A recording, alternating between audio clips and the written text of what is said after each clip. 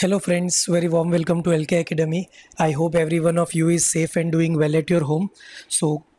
welcoming you all to current affairs lectures I hope that you have gone through all the previous lectures we are going to cover some more very important topics from exam point of view in our current current affairs lectures so I advise you to go through all the previous lectures and continue with this one so आज का जो हमारा पहला topic है that is related to a food security and there is one agency that annually publishes a global food security index so इस बार का जो एडिशन है that is global food security index 2021 so नाम से ही जो चीज़ हमें पता चल रही है, वो क्या है? कि ये जो इंडेक्स है, वो किसी भी कंट्री जो इंक्लूडेड है, उन कंट्री के लिए फ़ूड सिक्योरिटी में वो कंट्री कैसा काम कर रहा है? How the situation of food security in that particular country is उसका एनालिसिस ये करेगा United Nations is very keen about the food security और यूनाइटेड नेशंस ने अपने सस्टेनेबल डेवलपमेंट गोल में एज अ मेन गोल इसको डाला हुआ है which is which is related to zero hunger तो 2030 तक हमें ज़ीरो हंगर को कैसे अचीव करना है, उसका जो एनालिसिस है, उसका जो ट्रैक है, वो ये इंडेक्सेस रखेंगे। So India is ranked at seventy first position in the global food security index 2021 of 113 countries earlier, india was ranked at 101 position in the global hunger index 2021 so, global hunger index के बारे में भी हम बात करेंगे। As of now food security index में India को कौन से पोजीशन पे रखा गया है? 113 कंट्री में से वी आर ऑन 71 पोजीशन क्या है ये इंडेक्स सो इसको डेवलप किया जाता है लंडन बेस्ड एक इकोनॉमिस्ट इम्पैक्ट करके एक uh, एजेंसी है, एक ऑर्गेनाइजेशन है, जो इसको हर साल के लिए पब्लिश करती है। So the global food security index was designed and constructed by London based economist impact and it is sponsored by Corteva Corteva agri science so ये जो कॉटेवा एग्री साइंस नाम करके जो एजेंसी है, वो इसको स्पॉन्सर करती है। The 2021 global food security index is the tenth edition of the index and it is published every year so 2012 से इस इंडेक्स का पब्लिकेशन स्टार्ट हुआ था with the frequency of annual frequency और हर साल इसको पब्लिश किया जाता है। कैलकुलेशन कौन से बेसिस पे किया जाएगा? So it measures the underlying drivers of food security based on the following factors. तो देखिए बेसिकली फ़ूड सिक्योरिटी जो है, आपको अगर खाना मिल रहा है so how you are able to gain your food so it is based on primarily on four parameters first is affordability आप जो नॉर्मल बेसिक फ़ूड है विथ न्यूट्रिशन वो आप अफोर्ड कर पा रहे हो या नहीं कर पा रहे हो? Second one is availability third one is quality and safety and fourth one is natural resources and resilience. So it considers total of 58 unique food security indicators including income and economic inequality calling attention to systemic gaps and actions needed to accelerate progress towards united nations sustainable development goal of zero hunger by 2030 तो United Nations ने already कह कह चुके हैं कि Covid की वजह से जो फ़ूड सिक्योरिटी को लेकर जो स्टेप्स लिए जा रहे थे या लिए गए थे बिफोर मार्च 2020 उनको थोड़ा बहुत बैकफुट पे जाना पड़ेगा। क्यों? क्योंकि कोविड के चलते there are multiple effect on jobs health and many other parameters जो कि हंगर के साथ या फ़ूड सिक्योरिटी के साथ सीधे सीधे जुड़े हुए हैं। तो it it will be very difficult for non-developed and developing countries to achieve this goal of zero hunger by 2030 United Nations ने ऑलरेडी आने वाले सालों में, आने वाले कुछ ही महीनों में जो नए इंडेक्स आएँगे, उससे हमें जो इकोनॉमिक सिचुएशन है, क्या इकोनॉमिक इम्पैक्ट हुआ है, उससे सारी ये चीज़ें हमें पता चलेगी। इस रिपोर्ट्स की फाइंडिंग क्या है with related to world and specifically with related to India so top rankers कौन से हैं? सो फ़र्स्ट नंबर पे है Ireland with the score of 84 okay so Ireland then second number पे Austria and so on UK Finland Switzerland Netherlands Canada Japan France and the USA तो देखिए Asia का एकमात्र जो कंट्री है one and only nation that is Japan okay okay, बाकी सारे जो कंट्री है वो आउट ऑफ़ द एशिया के कंट्रीज़ है. एशिया में मेजोरिटी ऑफ़ द कंट्रीज़ है those are developing nations right so Ireland Austria UK Finland Switzerland Netherlands Canada, Japan, France, and the US shared the top rank with the overall GFS score in the range of 7, 77.8 and 80 points in the index. India का rank क्या है India ने जो rank कमाया है that is India को रखा गया है सेवेंटी फ़र्स्ट पोजिशन पे with the overall score of fifty seven point two तो देखिए हर एक पैरामीटर्स में अलग अलग स्कोर है जो एवरेज फाइनल स्कोर हमारा बना है that is fifty seven point two okay so और टोटल कंट्री जो एनालाइज किए गए थे that is one one three in comparison to neighbouring countries it fared it fared better than Pakistan Pakistan है seventy fifth position पे श्रीलंका है seventy seventh position पे Nepal is on seventy ninth position and Bangladesh is Bangladesh is on eighty fourth position but the country was way behind China thirty fourth position तो देखिए, ये सारे countries के साथ तो हमारी कंपटीशन भी नहीं है। What we are trying to do कि एशिया में हमें टक्कर किसे देनी है? चाइना को टक्कर देनी है बट फ़ूड सिक्योरिटी के मामले में China is far better than us almost more than double position पे चाइना को रखा गया है और हमें सेवेंटी फ़र्स्ट पोजिशन दी गई है। However over the past ten years India's incremental gains in overall food security score we are lagging behind that of Pakistan Nepal and Bangladesh India's score improved only by two point seven point to fifty seven point two in two thousand and twenty one from fifty four point five in twenty twelve when compared with Pakistan by nine points okay so देखिए पाकिस्तान का जो score था तो 45.7 से 54.7 हुआ है। जबकि हमारा जो स्कोर है, वो ओनली 2.7 पॉइंट्स का हमने गेन किया है 2012 में, जब से ये इंडेक्स फ़र्स्ट पब्लिश हुआ था। In in twenty twelve we were on 54.5 वहाँ से लेकर 57.2 पर हम पहुँचे हैं। Pakistan scored better than India in the food affordability category, and Sri Lanka was even better. On the remaining three factors, India scored better than Pakistan, Nepal, Bangladesh, and Sri Lanka. Concerns क्या है इसको लेकर So global food security has decreased for the second year in a row after seven years of progress towards the sustainable development goal of achieving zero hunger by 2030. While countries have made significant strides towards addressing food insecurity in the past 10 years, food system remain vulnerable to economic, climatic and geopolitical shocks तो देखिए India ने पिछले सालों में और India और बाकी के जो डेवलपिंग नेशन है all together have faced many natural calamities many climatic changes and many economic ups and downs तो उसका सीधा असर गवर्नमेंट के फ़ूड सिक्योरिटी के जो स्कीम्स है, उसके ऊपर पड़ेगा। एंड ये जो इंडेक्स है, वो हमें क्लियरली ये बता रहा है कि we are not on the track कि हम 2030 तक ज़ीरो हंगर को अचीव कर पाएँगे। सजेशन क्या दिए गए हैं? Action is imperative at all level, local, national and global, to end hunger and malnourishment and ensure food security for all हमने पिछले लेक्चर्स में हमने मिड डे मील के बारे में पढ़ा कि मिड डे मील का नाम बदल कर अब पीएम पोषण स्कीम रख दिया गया है। So these kind of schemes in the country like India ensures that everybody gets the required amount of food at affordable prices and with proper availability right to meet this present and emerging future challenges requires that investment in food security and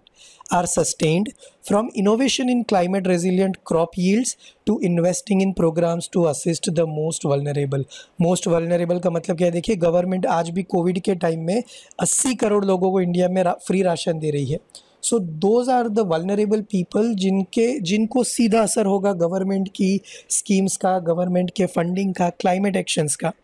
right right? तो उनको कैसे ensure करवाया जाए that they will get the food ऐसी schemes हमें बनाने की ज़रूरत है।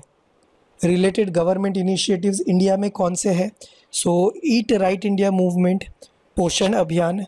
food fortification national food security act 2013 जो इंश्योर करता है कि हर एक को खाना मिले integrated child development services scheme and national innovations in climate resilient agriculture. So India बहुत अच्छे तरीके से इन uh, way india is trying to provide food to everybody जो कि हमने पैरामीटर्स डिस्कस किए अफोर्डेबिलिटी अवेलेबिलिटी सेफ्टी तो ये सारी चीज़ों को इंश्योर करते हुए we are trying to deliver the best to the vulnerables but still we are way behind from our global competitors and ultimately हमें क्या अचीव करना है? Even we don't talk about competitors हमें अचीव करना है twenty thirty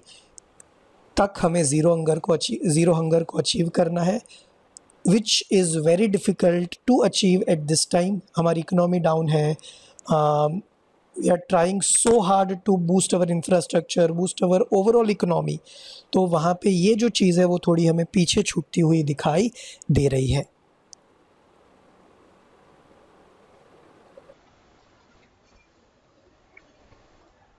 next जो हमारा topic है that is related to international energy agency so recently international energy agency ने इंडिया को अपना फुल टाइम मेंबर बनने के लिए इनवाइट किया है। India has not yet accepted the invitation that we will see once that will happen but now we will talk about international energy agency क्या है और इंडिया का क्या रोल है इंडिया का क्या रिलेशन है इंटरनेशनल एनर्जी एजेंसी के साथ। So recently the international energy agency that is popularly known as IEA has invited India the world's third largest energy consumer to become its full time member क्या है background India became an associate member of IEA in March 2017 but it was an engagement with IEA long before its association with the organization. Earlier in 2021, India also inked a strategic partnership agreement with the IEA to strengthen cooperation in global energy security, stability and sustainability. देखिए हमें पता है कि India already green energy की तरफ़ आगे बढ़ रहा है इंडिया आईईए के साथ पहले फुल टाइम मेंबर के तौर पर नहीं जुड़ा हुआ था। Still India was working on many projects with IEA और हम ऑफिशियली जो एसोसिएट मेंबर बने एसोसिएट मेंबर एज इन कि फुल टाइम मेंबर नहीं है बट आप जुड़ना चाहते हो you are aspiring to join IEA तो वो हम मार्च 27 में आईईए के एसोसिएट मेंबर बने। But it was in engagement with IEA long before its association with the organisation earlier in 2021 हमने एक ऑलरेडी एक अग्रीमेंट भी साइन किया है आईईए के साथ ताकि हम एनर्जी सिक्योरिटी स्टेबिलिटी और सस्टेनेबिलिटी के इंश्योर uh, कर सके। और देखिए ये टॉपिक हम तब पढ़ रहे हैं जब आप पिछले कुछ हफ्तों से कोल क्राइसिस के बारे में इंडिया में और पूरे वर्ल्ड में ऑल ओवर वर्ल्ड में आ, आ, बात सुन रहे हो न्यूज़ देख रहे हो so world is facing the coal crisis and it is an alarming situation for all of us that now we start using the more greener energies और at least we start talk about the use of green energy जैसे solar energy wind energy water energy इन सारी चीज़ों के बारे में हमें बात करना उनको यूज़ करना नाउ हमें स्टार्ट करना चाहिए। As a natural corollary to the India I E A strategic partnership I E A invited India to deepen its cooperation with I E A by becoming a full time member so full time member बनने के there are multiple advantages there are malt ज़्यादा engagement होगा, ज़्यादा deeply हम I E A के साथ on deep root पे हम काम कर पाएँगे। Reason for offering membership to India क्या है? So India is becoming increasingly influential in global energy trends हमने अभी पिछले हफ्तों में पढ़ा था one sun one world one grid so India is becoming particularly in pure energy और क्लीन एनर्जी के एरियाज़ में India is becoming very very very influential और इंडिया को यूएसए फ्रांस जर्मनी यूके जैसे जो बड़े बड़े कंट्रीज़ है, जापान उनका साथ मिल रहा है। So that's why I E A also विशेष के इंडिया उनके साथ आकर ज़्यादा इन्फ्लुएंशियल तरीके से काम करे। So India is becoming increasingly influential in global energy trends its in depth report on India's energy policies which was release in January 2020 states that the country's demand for energy is set to grow rapidly in the coming decades. With electricity was set to increase particularly fast the country's reliance on fuel imports makes further improving energy security a key priority for the Indian economy. Okay background क्या है इसका तो ये हमने background के बारे में discussion कर लिया क्या है आई का मेंबरशिप तो उसके लिए there are multiple prerequisites जो सारे कंट्री को फुलफ़िल करने होते हैं once the country fulfils those prerequisite then I A can think about giving the full time membership to a country India as of now सारे prerequisite पूरे नहीं करता है। स्टिल क्योंकि इंडिया का स्टेटस ग्लोबल स्टेटस और influential हम धीरे धीरे होते जा रहे हैं इंडिया को ये मेंबरशिप ऑफ़र की गई है। So the I E A is made up of thirty member countries तो as of now I E A में इंटरनेशनल एनर्जी एजेंसी में कितने मेंबर्स है? तीस मेंबर है. It also includes eight association countries four countries are seeking accession to full membership which are Chile Cambodia Israel and lithuania. A candidate country to the IEA must be a member country of the orga, uh, organization for economic cooperation and development. तो अगर कोई country IEA का member बनना चाहता है तो उस country का OECD का मेंबर बनना is very necessary eligibility criteria क्या है? So a candidate seeking application to full time membership of I must have crude oil और and product reserves meaning strategic oil reserves equivalent to 90 days to the previous year's net imports to which the government has immediate access even if it does not own them directly or could be used to address disruptions to global oil supply तो देखिए 90 दिनों का हमारे पास oil reserve strategic oil reserve होना चाहिए इन case अगर कोई issue occur होता है जैसे मान लो क्रूड ऑयल कल से इंपोर्ट होना बंद हो गया तो 90 दिनों के लिए एनर्जी क्राइसिस उस कंट्री में नहीं होनी चाहिए India's current strategic oil reserve equal 9.5 days of its requirement तो देखिए, कहाँ नब्बे दिन और कहाँ nine point nine point five days we are almost one tenth requirement पूरी कर रहे हैं। A demand restraint programme to reduce national oil consumption by up to ten percent legislation and organization to operate the coordinated emergency response measures CERM on a national basis. Legislation and measures to ensure that all oil companies under its jurisdiction report information upon request, measures in place to ensure the capability of contributing its share of an IEA collective action. An IEA collective action would be initiated in response to a significant global oil supply disruption. So basically, uh, तुरंत supply बंद नहीं होना चाहिए, supply को manage करने के लिए, supply को गवर्नमेंट को यूज़ करने के लिए there should be a jurisdiction infrastructure in place कि वो वक्त आने पर काम आ सके। इंटरनेशनल एनर्जी एजेंसी क्या है? So it is an autonomous intergovernmental organisation established in 1974 in Paris France it mainly focuses on its energy policies, which include economic development, energy security and environmental protection These policies are also known as 3E's of IEA. IEA Clean Coal Center is dedicated to providing independent information and analysis on how coal can become a cleaner source of energy compatible with UN Sustainable Development Goals. Need kya hai? Established in the wake of the oil crisis in 1973-74 to help its members respond to major disruptions in oil supply mandate so over time the mandate of the IEA has expanded to include tracking and analyzing key global energy trends promoting sound energy policy and encouraging multinational energy technology cooperation mission kya hai uska to ensure reliable affordable and clean energy for its member countries and beyond चलिए next जो हमारा topic है that is related to our first topic that we have seen food security index so ये जो हमारा index है, वो भी मिलता जुलता है global hunger index 2021 food security index के साथ. India has slipped to 10 first position मतलब 101वीं पोजीशन पे हम आ गए हैं from ninety fourth position in 2020 to 2021 में जो हमको नंबर दिया गया है that is 101 in the global hunger index 2021 out of 116 countries. ये जो नाइन्टी फोर्थ हमारा पोजीशन था, वो 107 कंट्री में से था। एक सौ एक जो पोजीशन है, वो 116 कंट्री में से है। There is not much difference क्योंकि नंबर ऑफ़ कंट्रीज़ ज़्यादा है। हमारा जो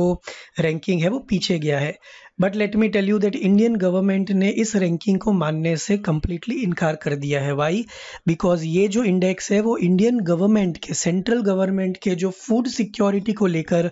जो एफर्ट्स है, जो स्कीम्स है, उसको कम्प्लीटली निगेट कर देता है, जो कि हमारी गवर्नमेंट नहीं चाहती कि लोगों में ये मैसेज जाए। So, the global hunger index tracks hunger and malnutrition across the countries using four basic indicators. तो देखिए, hunger और malnutrition के साथ जो बेसिक इंडिकेटर्स है, जो जुड़े हुए हैं, उनको ग्लोबल हंगर इंडेक्स ट्रैक करेगा which is undernourishment child wasting मतलब किसी बच्चे की उम्र के हिसाब से उसकी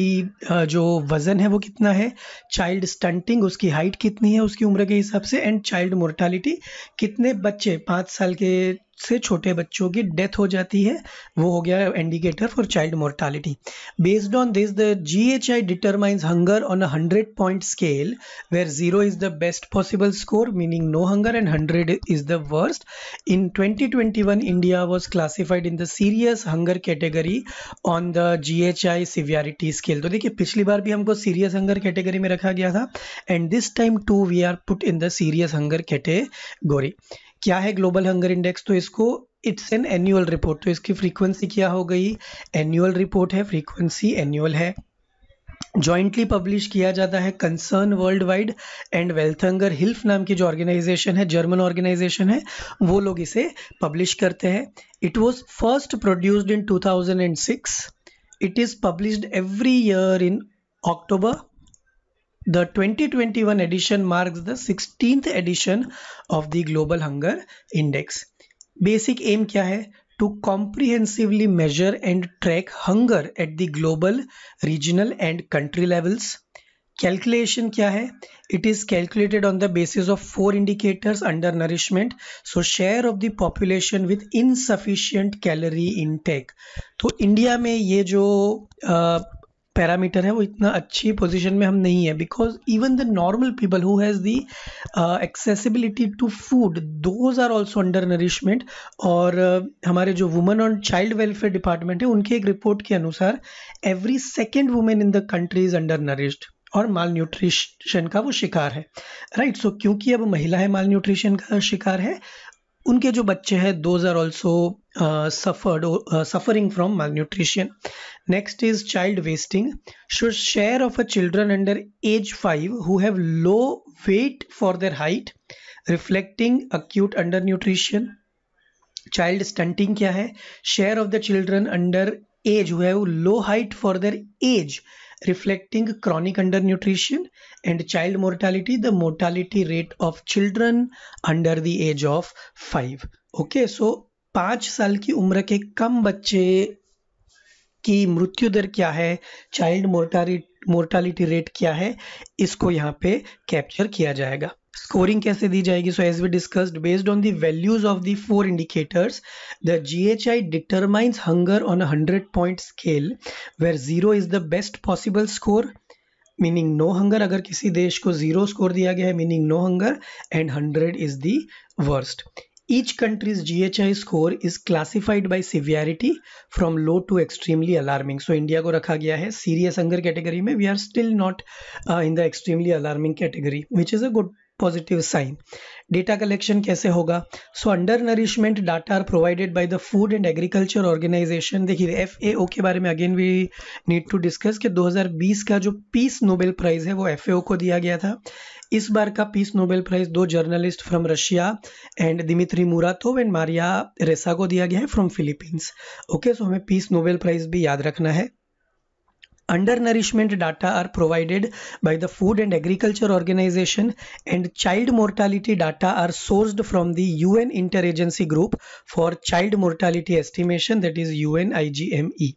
child wasting and stunting data are drawn from the joint database of unicef the world health organization and the world bank among others. So बड़े क्रेडिबल सोर्सेस से ये जो इन्फॉर्मेशन है वो ली जा रही है। सो so, कोई कंट्री इसके जो एनालिसिस uh, है उससे भाग नहीं सकता but still India has aggressively oppose to accept this findings of the report okay global scenario क्या है? So the fight against hunger is dangerously off track देखिए कोविड की वजह से ऑलरेडी वो ऑफ़ ट्रैक चल रहा था। कोविड के आने से it is dangerously off track चला गया है। हमने कल ही बात की थी कि यूएन जो है वो पिछले लेक्चर में हमने बात किया था कि यूएन हो सकता है कि 2030 ज़ीरो हंगर का जो गोल है, उसको थोड़ा और एक्सटेंड कर दे 2035 और 2040 कर दिया जाए। क्यों? क्योंकि कोविड की वजह से जो डेवलपिंग और अंडर डेवलप्ड नेशन है, उनके ऊपर काफ़ी बुरा इम्पेक्ट हुआ है। तो जो हंगर का जो इश्यू होगा, वो उनके लिए ऑफ़ ट्रैक पे चला जा सकता है। Based on the current G H I projection the world as a whole and 47 countries in particular will fail to achieve a low level of hunger by 2030 food security is under assault on multiple front देखिए funding का issue है climate change का issue है political will का issue है। तो ये सारी चीज़ों की वजह से फ़ूड सिक्योरिटी थ्रेटन होती हुई हमें नज़र आ रही है। Worsening conflict weather extremes associated with the global climate change and the economic and health challenges associated with the COVID-19 pandemic are all driving hunger ultimately जो वलनरेबल क्लास है किसी भी कंट्री का विच इज़ पुअर जो afford नहीं कर सकता, जिसके पास डायरेक्ट एक्सेस नहीं है अच्छे फ़ूड का, उन सारी चीज़ों का असर अल्टीमेटली हंगर पे पड़ेगा। श्रीलंका जैसे जो कंट्रीज़ है, जिनको ऑलरेडी एफएटीएफ के ग्रे लिस्ट में डाला गया है those countries are also going through a rough patch for the economy ठीक है, श्रीलंका में already food security food crisis को अल्टीमेट अनाउंस कर दिया गया है which is a bad thing तो ऐसे कई कंट्रीज़ हैं जहाँ पे फ़ूड सिक्योरिटी और फ़ूड क्राइसिस जैसे हालात हमें उभरते हुए दिखेंगे. After decades of decline the global prevalence of undernourishment a component of the global hunger index is increasing this shift may be a leading indicator of reversals of other measures of hunger देखिए, अब तक जो हमने काम किया था, हो सकता है कि उसके उसके ऊपर भी पूरा पानी फिर जाए। The current effect is capable to nullify all our previous works inequality between regions countries district and communities is pervasive and left unchecked will keep the world from achieving the sustainable development goal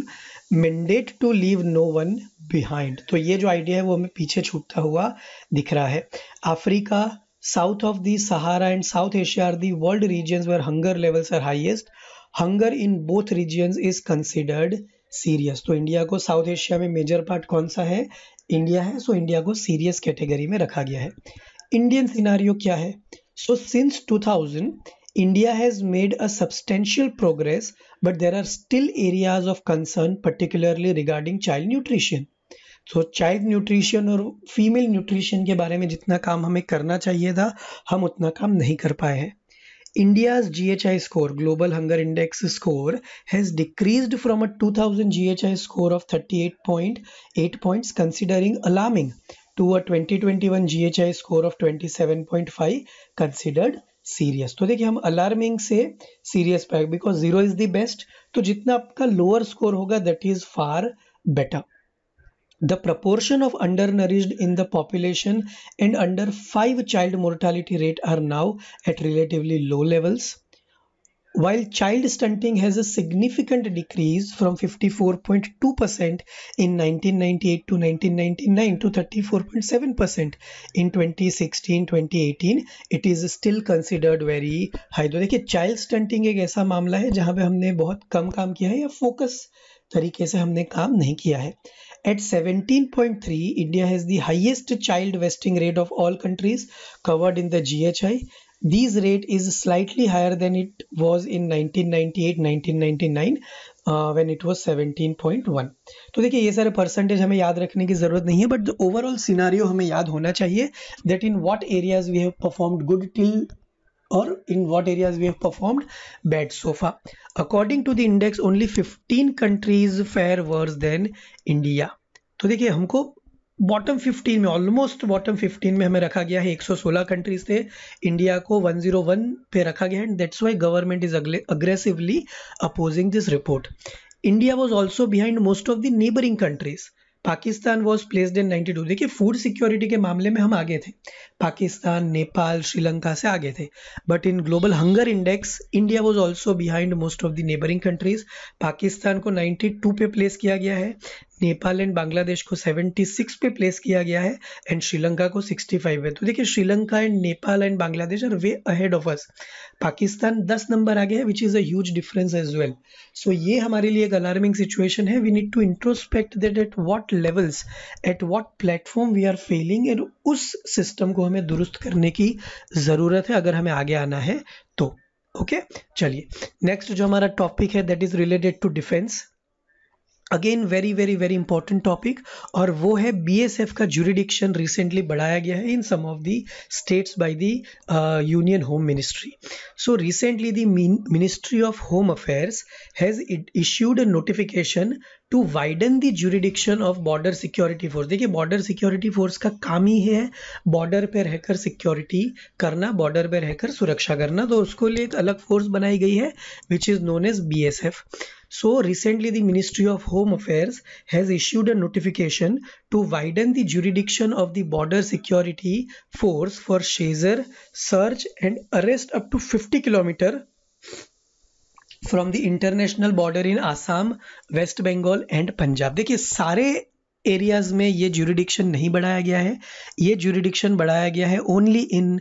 Assam West Bengal and Punjab क्या है ये order so this notification replaces a 2014 order under the BSF act 1968 which also covered the states of Manipur, Mizoram, Tripura, Nagaland and Meghalaya. तो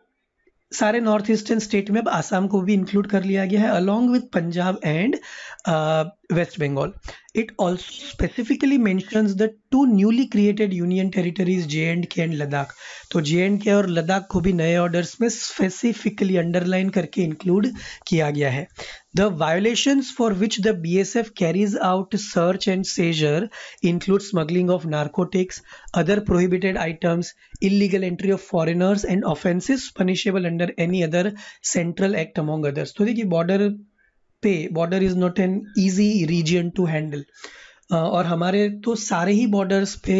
there are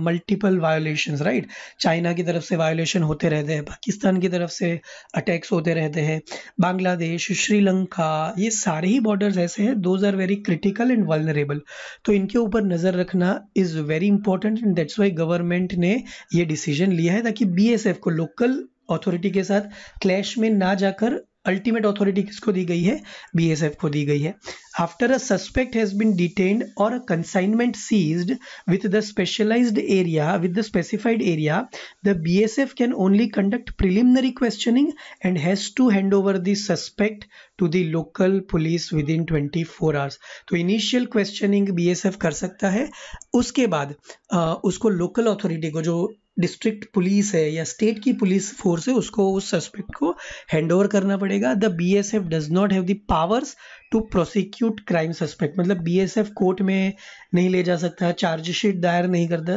नहीं कर सकता, ये सारी चीज़ें बी एस एफ़ नहीं करेगा। इश्यू क्या थे अब तक? So public order versus the security of state so public order which can not public peace, safety and tranquility is primarily the responsibility of a state government. Entry one जो कि है state list में ये clearly बोला गया है कि public order को मेंटेन करना स्टेट की अपनी खुद की ज़िम्मेदारी होगी उसमें सेंट्रल गवर्नमेंट इंटरफियर तभी करेगी व्हेन इट इज़ नेसेसरी जब स्टेट गवर्नमेंट के मामले से लगेगा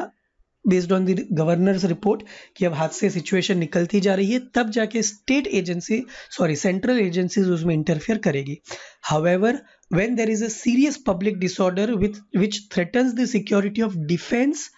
of the state और of the country itself the situation becomes a matter of concern for the union government also right और ये कौन बताएगा यूनियन गवर्नमेंट को? देर आर मल्टीपल एजेंसीज और साथ में गवर्नर की रिपोर्ट भी यहाँ पे बहुत मायने रखेगी। Weakening spirit spirit of federalism तो ये सारे जो स्टेट्स है बेसिकली जो नॉन बीजेपी स्टेट्स है, जहाँ पे बीजेपी की गवर्नमेंट नहीं है those states are opposing this कि आप स्टेट पुलिस या स्टेट अथॉरिटी का जो पावर है, उसको आप क्या कर रहे हो? डिमिनिश कर रहे हो, उसको आप कम कर रहे हो। क्यों? क्योंकि आपने बीएसएफ क्योंकि आप, आपके हाथ में है, आपने बीएसएफ का जो बाउंड्री है, उसको बढ़ा दिया है। Which is weakening the spirit of federalism. Without obtaining the concurrence of the state government, the notification amounts to encroachment on the powers of the state. तो आए दिन जब से नई गवर्नमेंट आई है फ्रॉम 2014 ये एक शिकायत सारे स्टेट्स की रही है कि सेंट्रल गवर्नमेंट अब की मनमानी कर रही है और स्टेट गवर्नमेंट के पावर्स को डिमिनिश किया जा रहा है slowly slowly The Punjab government has asserted that this notification is center's encroachment under the guise of security or development, affecting the functioning of BSF. Policing is the hinterland is not the role of a border guarding force. Rather, it would weaken the capacity of the border security force in discharging its primary duty of guarding the international border तो एक concern जो है experts का defence experts का, वो ये है कि अगर आप बॉर्डर सिक्योरिटी फोर्स को ऐसे सब पेट्रोलिंग वाले टास्क में अगर लगा देते हो कि चोरी किसने किया या स्मगलिंग कौन कर रहा है, ये सारी चीज़ों में अगर आप लगा दोगे सो जो एक्चुअल काम है बीएसएफ का बॉर्डर्स को सिक्योर रखना, उसको आप क्या कर रहे हो, वो अपनी प्राइमरी प्राइमरी ड्यूटी से हट जाएँगे। Now we have to see that how it uh, gives the result in the future. Constitutional we point on deployment of armed forces in states तो हमारा कॉन्स्टिट्यूशन क्या कहता है? देखिए अल्टीमेटली uh, जो इंटरनेशनल बॉर्डर्स जिन भी स्टेट में है जम्मू कश्मीर से लेकर गुजरात तक या पूरा नॉर्थ ईस्ट जहाँ जहाँ इंटरनेशनल बॉर्डर्स लग रही है या वेस्ट बंगाल हो गया अल्टीमेटली जो पावर है बॉर्डर सिक्योरिटी को किसके पास है? सेंट्रल गवर्नमेंट के पास है। Why because the national security is the subject of union list वहाँ पे स्टेट अपनी राय नहीं दे सकता या स्टेट इंटरफेयर नहीं कर सकता। Under article 355 the centre can deploy its forces to protect a state against external aggression and internal disturbance even when the state concerned does not requisition the center's assistance and is reluctant to receive central forces. so article 355 ये कहता है कि centre अपनी forces को किसी भी state में deploy कर सकता है even if there is no agreement with the state government why because it's a matter of national security as and when union government feels वो अपनी फोर्सेस को वहाँ डिप्लॉय कर सकती है In the case of states' opposition to the deployment of armed forces of the Union, the right course for the center is to first issue directive under Article 355 to the state concerned. Okay okay, so so पहले union government का ये फ़र्ज़ बनता है कि जो state में वो लोग आर्म्ड फोर्सेस डिप्लॉय करने जाने वाले हैं उनको एक intimation de diya jaye that we are going to do this. Please cooperate with us. Even if you don't cooperate it will be difficult for us but we will be going to do what is required to safeguard the interest of state and ultimately the nation. In the event of the state not complying with the directive of the central government the center can take further action under article 356 which is president's rule. So there are multiple uh, examples in past also पिछले आज़ादी से लेकर अब तक multiple governments ने multiple prime ministers ने अपनी सहूलियत के हिसाब से आर्टिकल 356 का इस्तेमाल किया है। क्यों? क्योंकि प्रेसिडेंट तो उसी पार्टी का बनाया हुआ होगा। तो प्रेसिडेंट कैबिनेट की सलाह पर कैबिनेट के एडवाइस पर काम करेगा और जब कोई स्टेट कॉपरेट नहीं करता तो कैबिनेट की सलाह के अनुसार राष्ट्रपति जो है वहाँ प्रेसिडेंट रूल लगा सकते हैं अंडर आर्टिकल 356 स्टेट फिर चाहे तो वो कोर्ट में जा सकते हैं बट इंस्टेंटली ये प्रेसिडेंट रूल वहाँ पर लगाया जा सकता है। ओके चलिए now what is BSF border security force so BSF was raised in 1965 after the India Pakistan war तो देखिए 1961 62 में जब पाकिस्तान के साथ हमारा वॉर हुआ तो हमारी जो देर आर मल्टीपल गैप्स जो हमने आइडेंटिफाई किए उन गैप्स को भरने के लिए हमने बॉर्डर सिक्योरिटी फोर्स जैसी कई एजेंसीज बनाई। 1999 का जो कारगिल वॉर हुआ, उसके बाद हमने सीडीएस के पोस्ट का रिकमेंडेशन किया और 20 साल के बाद हमने जनरल बिपिन रावत को हमारा पहला सीडीएस बनाया। So there are multiple committees are formed after this kind of wars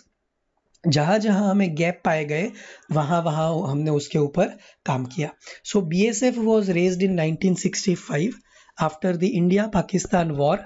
it is one of the seven central armed forces of the union of india under the administrative control of ministry of home affairs तो हमारा जो गृह मंत्रालय है, उसके under BSF काम करेगा। सीधा सीधा एडमिनिस्ट्रेटिव कंट्रोल किसका होगा? मिनिस्ट्री ऑफ़ होम अफेयर्स का होगा।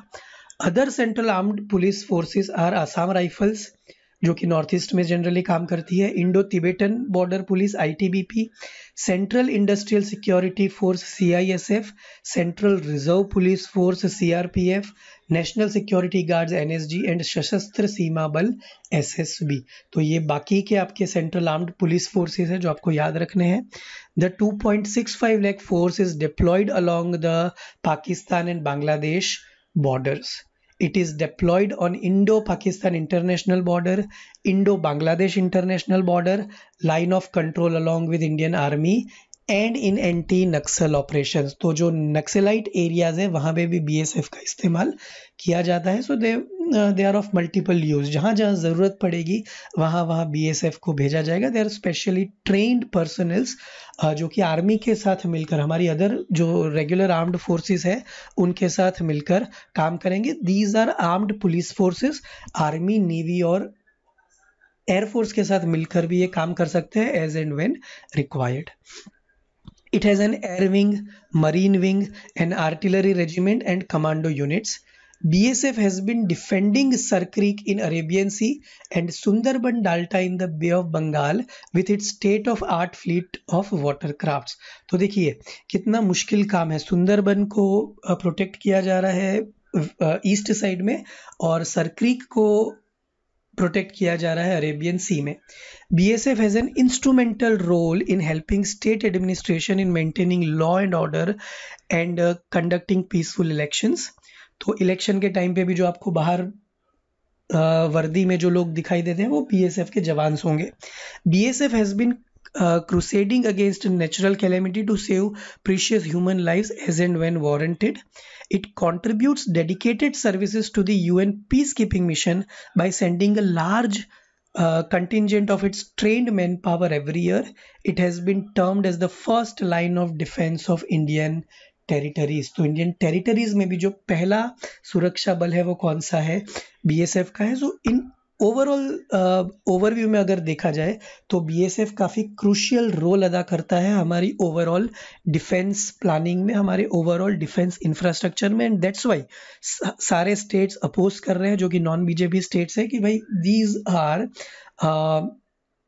direct attack on our powers और अब फेडरलिज्म स्ट्रक्चर जो है उसको तोड़ने की कोशिश सेंट्रल गवर्नमेंट यहाँ पे कर रहा है, ऐसा स्टेट्स का कहना है।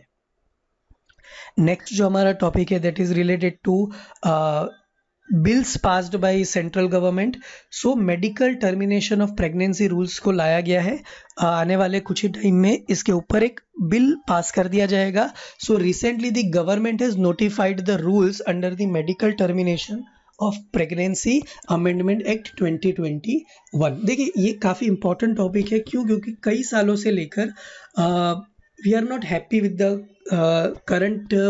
state of the bill जो अभी का बिल है वो काफ़ी सारे रिस्ट्रेंट्स लगा रहा था ऐसी महिलाओं पे जिनके साथ सेक्सुअल असॉल्ट हुआ है या रेप हुआ है। सो so, ये जो नया बिल है वो ये सारे जो गैप्स थे उसको ओवरकम करता है okay so we will see that in uh, uh, the deep so recently the government has notified new rules under the medical termination of pregnancy amendment act 2021 the 2021 act was passed to amend the medical termination of pregnancy act 1971 तो क्या क्या बदलाव लाए गए हैं तो पहला है इंडिकेशंस कॉन्ट्रासेप्टिव अगर फेल होता है so only applies to married woman now unmarried unmarried woman को भी यहाँ पे इंक्लूड कर लिया गया है. Next is gestational age limit so पहले इंडिकेशन जब पता चलता था अबाउट दी प्रेगनेंसी उसके 20 हफ्तों तक uh, वुमन और the family can opt for the abortion but now उसको 24 वीक्स कर दिया गया है for rape survivors and beyond 24 weeks for substantial fetal abnormalities तो अगर ये पता चलता है कि फीटस में uh, कुछ एबनॉर्मलिटीज़ हैं तो after twenty four weeks also with medical board का अप्रूवल के साथ हम इसको अबॉट करवा सकते हैं। Medical practitioner opinion required before termination so पहले बारह वीक्स और बीस वीक था, जिसको अब ट्वेंटी वीक्स और ट्वेंटी फोर वीक्स कर दिया गया है। Breach of women's confidentiality fine up to one thousand fine and और इम्प्रिजनमेंट ऑफ़ वन ईयर तो अगर वुमेन की कॉन्फिडेंशियलिटी मगर उसकी जो पहचान है, वो अगर आप ब्रीच कर दो, वो दुनिया के सामने अगर ला देता है कोई डॉक्टर तो उसको एक साल का जेल भी हो सकता है। या एंड और फाइन भी उसको किया जा सकता है। क्या रूल है? सो जो हमने टेबल में देखा, वही आपको यहाँ पे दिया गया है। Increased gestational limit so the gestational limit for the termination of the pregnancy has been increased from twenty to twenty four weeks for certain categories of woman the seven specific categories are तो देखिए 20 से 24 week को किसके लिए बढ़ाया गया है? Not for normal women वो बढ़ाया गया है सेक्शुअल असॉट के सर्वाइवर्स को और रेप और इंसेस्ट को, ठीक है? तो अगर कोई रेप सर्वाइवर है या सेक्सुअल असॉल्ट का सर्वाइवर है सेकेंड माइनर अगर कोई लड़की प्रेग्नेंट होती है तो उसके लिए है change of marital status during the ongoing pregnancy widowed और डाइवोर्स तो उनको भी यहाँ पे ऐड किया गया है। Next is women with physical disabilities next is mentally ill women और fetal malformation that has a substantial risk of being incompatible with life और द चाइल्ड और if the child is born he और she may suffer from serious physical और mental abnormalities तो इस case में doctor can predict technology ये predict कर सकती है राइट तो इस केस में अबॉर्शन की परमिशन दी जा सकती है। नेक्स्ट जो है women with pregnancy in humanitarian settings और डिजास्टर और इमरजेंसी सिचुएशन तो ये सात कैटेगरी को अबॉर्शन की जो लिमिट है टर्मिनेशन ऑफ़ प्रेगनेंसी बेसिकली हम जिसको मेडिकल टर्म में बोलेंगे that is twenty to twenty four weeks उसको कर दिया गया है। State level medical board create किया जाएगा। So state level medical board will be set up to decide if a pregnancy may be terminated after 24 weeks in cases of fetal malformation. The medical boards are to either accept or reject the proposal for medical termination of pregnancy within three days of receiving the request. Okay, so अगर जब भी पता है कि जन्म लेने वाला बच्चा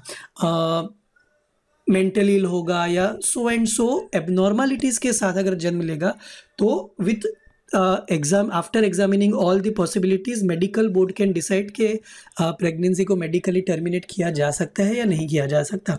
The abortion procedure has to be done with five days of the board receiving the request for the same तो देखिए तीन दिन में उस रिक्वेस्ट को एक्सेप्ट या रिजेक्ट करना होगा और पाँच दिन के अंदर अंदर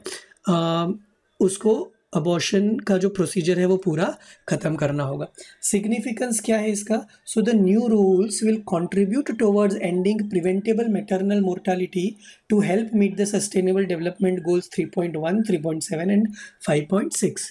S D G three point one pertains to reducing maternal mortality ratio where is S D G is three point seven and five point six pertain to universal access to sexual and reproductive health and rights The new rules will increase the ambit and access of women to safe abortion services and will ensure dignity, autonomy, confidentiality and justice for women who need to terminate pregnancy. तो basically women को empowerment के लिए ये जो changes है वो यहाँ पर किए गए हैं. So this was your today's lecture. I hope you have understood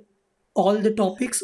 all the topics are very very very important from exam point of view if any doubt please let us know till that time stay home stay safe Stay happy. Thank you.